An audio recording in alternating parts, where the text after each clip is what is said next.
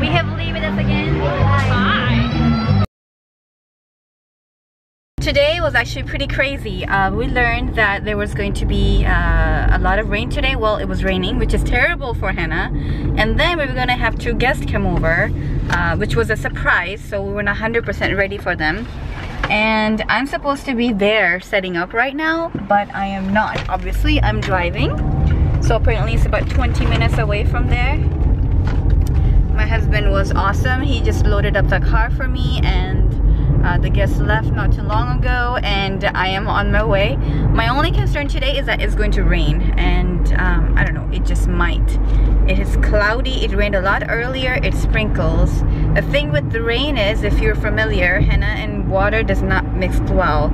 So if you have henna on and you put water on it you can almost guarantee that the stain is going to be either uh, really weak or non-existent. So we're just gonna find out. I just had to make a u-turn um, oh my goodness. I just had to make a u-turn because I forgot the box which has my cotton swabs and my um, square uh, pen so that I can take credit cards. It was extremely essential and I had to make the call. And yeah we're running really late. I'm supposed to be ready in 45 minutes but uh, okay bye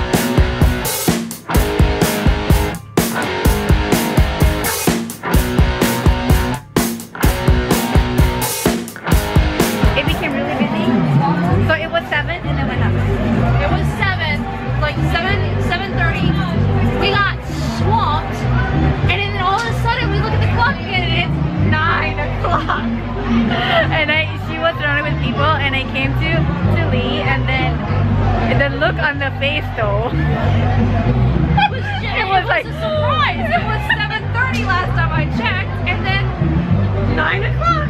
We didn't we didn't have a break for at least an hour and a half. Yeah, you were like she uh, she's first and like you were lost at that time. I felt really bad for her. But you see that's why booth assistant rock because they keep you, you know what I'm saying? Like controlled.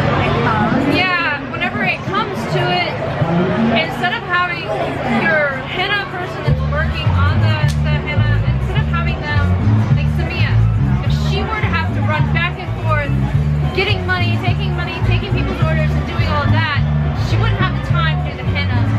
So I have to do all the running around. And I get to do the fun stuff. Well, it's hard, but you know. It's a lot of running around, especially whenever